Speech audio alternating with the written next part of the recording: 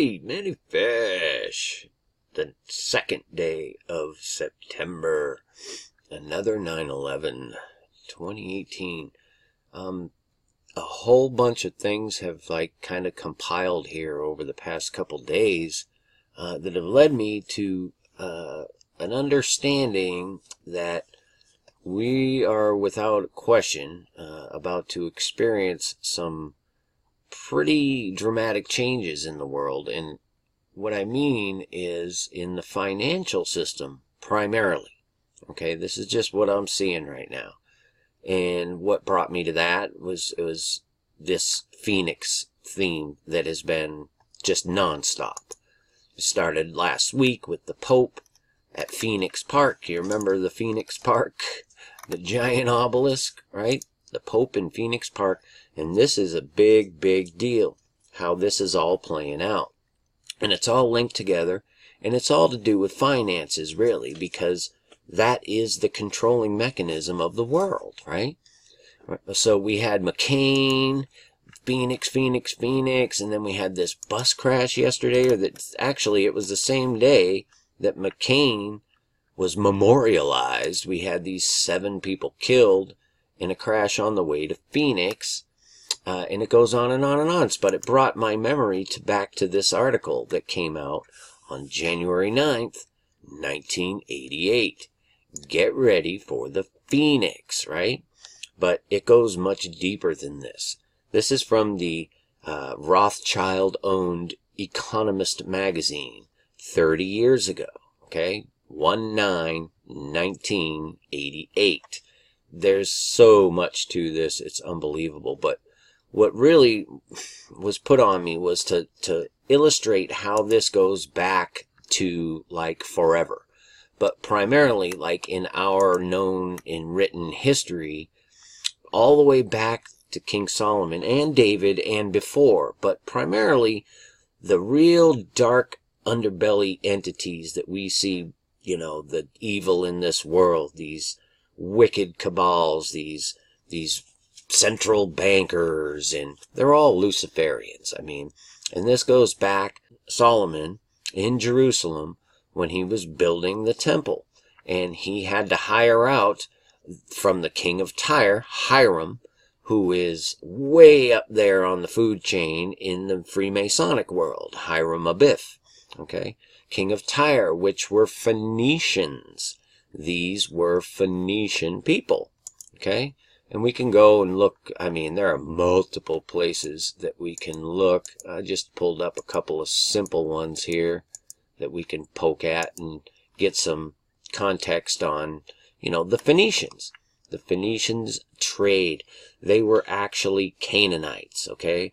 But they were, uh, let's say, given understanding and knowledge of, of commerce they were masters at trade and skills. So they managed to stay out of wars and run a basically an empire for nearly a thousand years until the Romans came along. Okay, so there you go. The Phoenicians, Phoenix, right? They were Canaanites and they were masters of commerce. That's why we see at the very beginning of I Pet Goat the devil's hand with the what's called the staff of Hermes. There are several names, but it's the serpent on the staff, the dollar sign, the money. That's what it's really, you know, the key to it. And that's what the beast system will, you know, entail.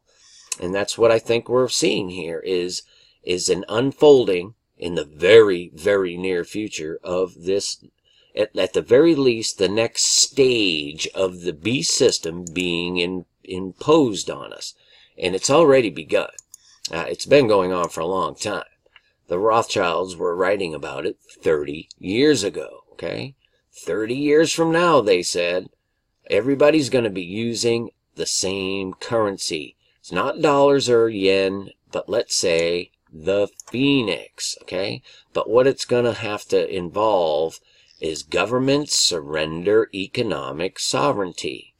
And what that means is you surrender economic sovereignty. And it's been the plan all along, but I believe we are right on the cusp of seeing the next stage, and it'll be a big one. It'll be quite disruptive in my understanding. So you need to be prepared for this stuff. Okay?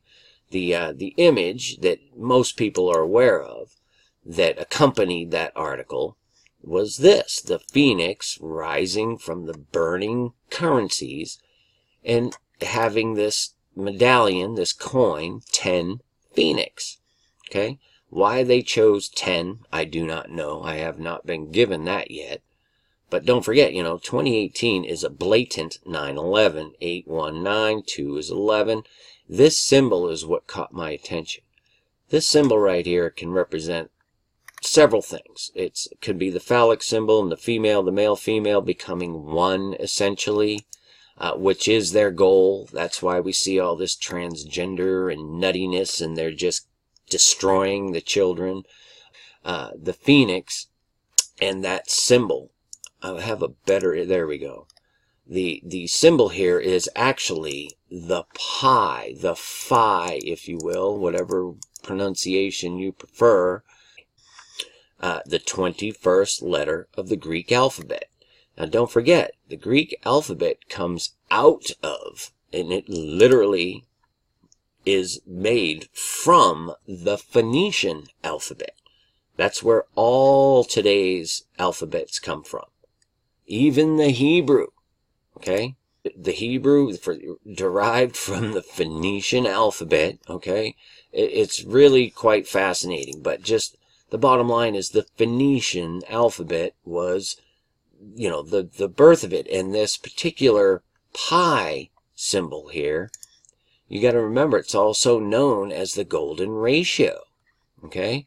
And this ties directly into your DNA. And I mean, I got so much up here that uh, I can directly illustrate that to you. Okay? The DNA spiral. Okay?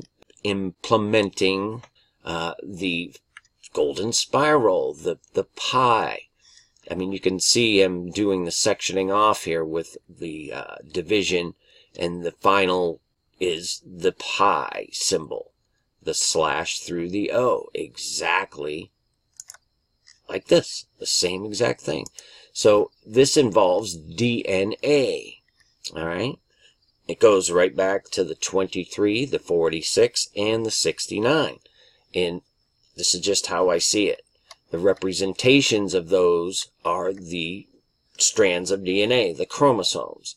And when you are saved, when you come to know Christ and accept Him, you are then able to activate that 23 and indwell the Holy Spirit. Okay? The other 23 is still in the world, but you are now a spiritual creature. You are not of this world. You're just in this meat suit, the 46. Okay? The 69 is the third strand. That will be the final mark of the beast, which will change the DNA to where it will not be able to indwell the Holy Spirit. I sincerely hope that makes sense, but this is what I'm getting. This is how it will work. So the bottom line is, you know, the whole financial systems of this world. I mean, they've been changing. Virtually everyone's out of cash money. They don't use it anymore. Um, most of us aren't rich. We don't have these big concerns, but don't forget, rich and poor, free and bond, everyone will be forced into this mark or you will not be able to participate in the money system. In other words, you're going to have to worship the devil, Satan. That's what it will require. So you need to be aware of this. Whether you're here or not, when this is fully implemented, uh, you need to know this. It, for, for at the very least, you'll be able to help other people because you'll know the truth. So you understand what I'm saying? And instruct people on what they need to do and need not to do uh, when these things start to happen. Okay? So, hey, any one of us can go any minute and not even be here to experience these things, right? But you gotta, you know, hey, we're still here. Every minute we're here, you know, gotta do what we gotta do. And this whole thing is just amazing, you guys. We could go so, so much deeper into this, okay? I mean, we can go into how The Economist is owned by the Rothschilds. We can go into the geometry of the phi uh, spiral. We could go into, oh my goodness, the, the human DNA and pi. It's pretty amazing. I'll be putting probably a lot of links into this uh, video. What can I tell you? I mean, seriously, this is what I see. I see this happening very soon. And, and one of the main reasons really too is because of the date. And don't forget, you know, the Phoenicians, I mean, right back to, to Solomon. I mean, the whole deal, you guys. But if we go back to the first day of January, 1 9, 1988, and I don't know how that did that, you guys, but look at that and I just put in 1 9 1988 and look at that. It's got 9 11. That's just weird, okay? And I, I just went to the 4th, which is this coming Tuesday because it's the end of the Labor Day weekend and it just fits to me in my spirit and I don't know. The whole thing is just very, very weird. But I mean, it's wild that when they released that article, the very day that this image was put out, okay? January 9th, 1988, up until the 4th, it's just a couple days from now. 11,196 days. All right. I saw the 69 right away and then the 911 right away. And I, I, again, you know, I always try to, to explain as best I can of what it all means. But, you know, I get what I get. All I know is that this is coming quicker than, than people think. And, you know, financially speaking, you need to be able to function to a certain degree. When you don't have much, you don't worry about much in the world of money. But what I do have and what I do make, I keep control of it the only money I put in the bank is the stuff that I need there in order to, you know, auto pay and write checks, you know. Everything else get some, um, just something useful, a tool, or just put some cash away. You know what I mean? Have control of, of your life in that regard because it's important. And it'll enable you to help others much, much better. You know what I'm saying? That's the key and hopefully bring them to Christ when these things start to happen and they realize, wow, this is real. The Bible's real. You know, and you can be there to guide them, you know. So there's that. And I just found this crazy. The Phoenix, Phoenix, Phoenix, Phoenix. And then the Phoenix, 1988, Rothschild. Just telling us way ahead of time what the plan is. And this is the next phase of the mark of the beast. And it's probably going to begin with calamity, something, something, war. The, the whole financial system is going to go upended. And they're going to come in with their new system to save everybody. But you're going to have to hand over your sovereignty to uh, participate. That's what they want from you. To hand over not just your economic sovereignty, but your spiritual sovereignty, your soul, your eternal sovereignty. Do not take a mark. I'm just telling you. That will disable that 23 that's able to accept the Holy Spirit and be saved. Okay? you take that mark, it's going to nullify that 23. You understand? So I hope so. I truly do. And I hope this blesses someone.